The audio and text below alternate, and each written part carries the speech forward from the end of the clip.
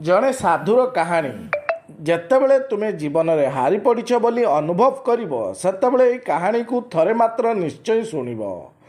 ଗୋଟେ ଗାଁରେ ଜଣେ ସାଧୁ ଥିଲେ। ଯେତେବେଳେ ସେ ନାଚୁଥିଲେ ସେତେବେଳେ ବର୍ଷା ହେଉଥିଲା।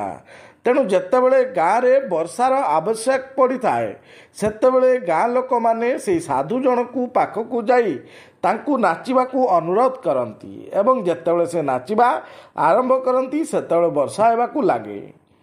ତେଣୁ କିଛି ଦିନ ପରେ ଚାରିଜଣ ବାଳକ ସହରରୁ ଗାଁକୁ ପରିଦର୍ଶନ କରିବାକୁ ଆସିଥିଲେ। ଯେତେବେଳେ ସେମାନେ ପ୍ରଥମେ ଶୁଣିବାକୁ ପାଇଲେ ଯେ ଜଣେ ସାଧୁଙ୍କ ନୃତ୍ୟ ହେତୁ ବର୍ଷା ହୁଏ ସେମାନେ ଏହାକୁ ବିଶ୍ୱାସ କରିପାରିଲେ ନାହିଁ। ଯଦି ଆମେ ମଧ୍ୟ ନାଚିବୁ ତେବେ ବର୍ଷା ହେବ। ଯଦି ଆମର ନୃତ୍ୟ ହେତୁ ବର୍ଷା ହୁଏ ନାହିଁ ତେବେ ସାଧୁ ନାଚୁଥିଲେ ମଧ୍ୟ ବର୍ଷା ହେବ ନାହିଁ। ପରଦିନ ସକାଳେ ଗ୍ରାମବାସୀ ସେହି ଚାରି ପୁଅଙ୍କୁ ନେଇ ସାଧୁଙ୍କ କୁଟୀରକୁ ଯାଇଥିଲେ। ତାପରେ ଗ୍ରାମବାସୀ ସାଧୁଙ୍କୁ ପୁରା କଥା କହିଥିଲେ। ପୁଅମାନେ ନାଚିବା ଆରମ୍ଭ କଲେ। ପ୍ରଥମ ବାଳକ ନାଚିବା ଆରମ୍ଭ କଲା। ଅଧଘଣ୍ଟା ବିତିଗଲା। ପ୍ରଥମ ବାଳକ କ୍ଳାନ୍ତ ହୋଇ ବସିଲା। କିନ୍ତୁ ମେଘ ଦେଖାଗଲା ନାହିଁ। କିଛି ସମୟ ପରେ ଦ୍ୱିତୀୟ ବାଳକ ନାଚିବା ଆରମ୍ଭ କଲେ ଏବଂ ଏକ ଘଣ୍ଟା ମଧ୍ୟରେ ସେ ବି ଥକି ଯାଇ ବସି ପଡ଼ିଲେ।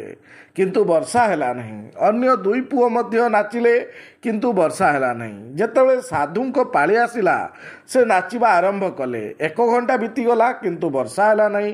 ନାଚୁ ନାଚୁ ଦୁଇ ଘଣ୍ଟା ମଧ୍ୟ ବିତିଗଲା। ବର୍ଷାର ଦେଖା ନାହିଁ। ଚାରି ଘଣ୍ଟା ବିତିଗଲା ବର୍ଷାର ଦେଖା ନାହିଁ। କିନ୍ତୁ ସାଧୁ ବନ୍ଦ ହେବାର ନାମ ନେଉନଥିଲେ। ଧୀରେ ଧୀରେ ସନ୍ଧ୍ୟା ହେଇ ଆସୁଥାଏ। ବାଦଲର ଘଡ଼ଘଡ଼ି ଶବ୍ଦ ଶୁଭିଲା। ଆଉ କିଛି ସମୟ ପରେ ଜୋରରେ ବର୍ଷା ହେବାକୁ ଲାଗିଲା। ଏହା ଦେଖି ଚାରିଜଣ ବାଳକ ଆଶ୍ଚର୍ଯ୍ୟ ହୋଇଗଲେ ଏବଂ ସଙ୍ଗେ ସଙ୍ଗେ ଯାଇ ସାଧୁକୁ କ୍ଷମା ମାଗିବାକୁ ଲାଗିଲେ ଏବଂ ସାଧୁକୁ ପଚାରିଲେ ବାବା ଆମେ ନାଚିଲୁ କାହିଁକି ବର୍ଷା ହେଲା ନାହିଁ ଏବଂ ଆପଣଙ୍କ ନୃତ୍ୟ ହେତୁ ବର୍ଷା ହେଲା। ସାଧୁ ଉତ୍ତର ଦେଲେ ଯେ ଯେତେବେଳେ ମୁଁ ନୃତ୍ୟ କରେ ମୁଁ ଦୁଇଟି ଜିନିଷକୁ ମନେ ରଖେ।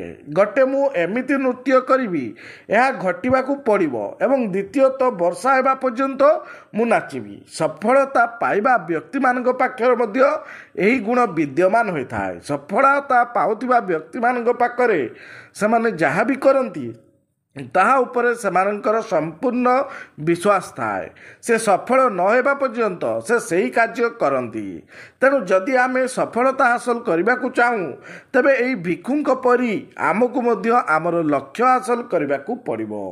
ଆଶା କରୁଛି ଆପଣଙ୍କୁ ଏହି କାହାଣୀଟି ପସନ୍ଦ ଆସିଥିବ। ଯଦି କାହାଣୀଟି ପସନ୍ଦ ଆସିଛି ଭିଡ଼ିଓଟିକୁ ଲାଇକ୍ କରିଦିଅନ୍ତୁ। ତା ସହିତ ଯଦି ଚ୍ୟାନେଲଟିକୁ ଏବେ ସୁଦ୍ଧା ସବସ୍କ୍ରାଇବ୍ କରିନାହାନ୍ତି ସର୍ବପ୍ରଥମେ ଚ୍ୟାନେଲଟିକୁ ସବସ୍କ୍ରାଇବ୍ କରିଦିଅନ୍ତୁ ଏବଂ ତା ପାଖରେ ଆସୁଥିବା ଓଲ୍ ନୋଟିଫିକେସନ୍ ବେଲ୍ ଆଇକନ୍ଟିକୁ ପ୍ରେସ୍ କରିଦିଅନ୍ତୁ ଯାହାଫଳରେ କି ଏଇଭଳି ଲେଟେଷ୍ଟ ଆପଣଙ୍କର ଯେଉଁ ଷ୍ଟୋରି ବା ଆପଣଙ୍କର ଇଣ୍ଟରେଷ୍ଟିଂ ଷ୍ଟୋରି ସର୍ବପ୍ରଥମେ ଆପଣମାନେ ନୋଟିଫିକେସନ୍ ପାଇପାରିବେ ଆଜିକା ପାଇଁ ଭିଡ଼ିଓଟି ଏତିକିରେ ଶେଷ କରୁଛି ନେକ୍ସଟ ଭିଡ଼ିଓ ଦେଖାହେବା ସେଥିପାଇଁ ବିଦାୟ ଦିଅନ୍ତୁ ନମସ୍କାର ଜୟ ଜଗନ୍ନାଥ